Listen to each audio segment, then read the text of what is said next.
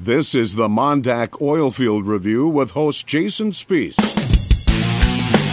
My name is Jason Spiess, and this is the Mondak Oilfield Review, heard in the Crude Life Media Network. Today we talk with North Dakota Governor Doug Burgum.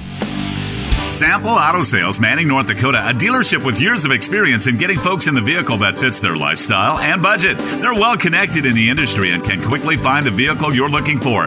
Cars, minivans, SUVs, light and heavy duty trucks, even golf carts. Check out their current inventory at sampleautosales.com or call them at 701 573 7875. Better yet, stop in their showroom along Highway 22 in Manning, North Dakota. Put their many years of experience to work for you at Sample Auto Sales. Over the past few months, I've told you about how unbelievable Hatch coaching is. Well, don't just take my word for it. Listen to what Greg Tehven of Emerging Prairies has to say about Hatch coaching. I got to watch him give a talk at TEDx Brookings, and I saw him come into his own where he shared uncomfortable things from his past in a way that created a teaching environment. And Eric's somebody that could easily lead with all he's accomplished, and it's a long list. To find out more information about Hatch coaching or to have Eric Hatch come to your company or event, visit coachingwithhatch.com. That's coachingwithhatch.com.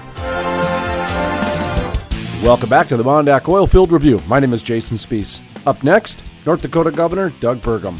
Well, I think one of, one of the things that we're facing in uh, in the Bakken and across North Dakota is workforce issues, and and the work we have there's great jobs open across the state, uh, high paying jobs.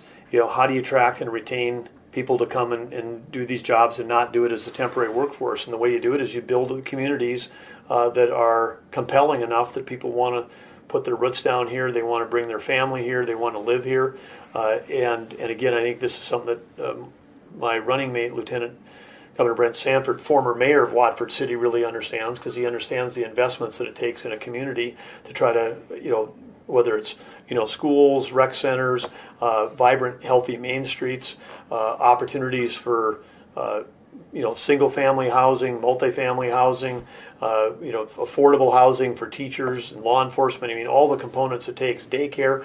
Uh, those are these are all elements that it takes to create a community, and and we want to we want to you know have a uh, comprehensive whole of government approach because I don't know if there's anything more important that we can do as administration than to help the private sector fill the jobs they have open. Mm-hmm. Private sector, they don't post jobs if they're going to make less money tomorrow. They post a job because they can get more work done and make more money and do whatever. And so we, we, we're, we're competing for, for capital uh, with other states and other shale plays. We're also competing for talent, and and we we want the operators that are operating in this state to know that we're behind them, and our initiatives are really really focused on you know helping them fill their workforce needs uh, here in North Dakota. To listen to the full length interview with North Dakota Governor Doug Burgum, or to listen to other Mondak Oilfield reviews, visit thecrudelife.com. That's thecrudelife.com. The Mondak Oilfield Review is part of the Crude Life Media Network. Check us out on Facebook and Twitter. Of course, all those social media links are available at thecrudelife.com. From the staff at the Mondak Oilfield Review, we're asking you to be happy, be safe, and keep it turning to the right.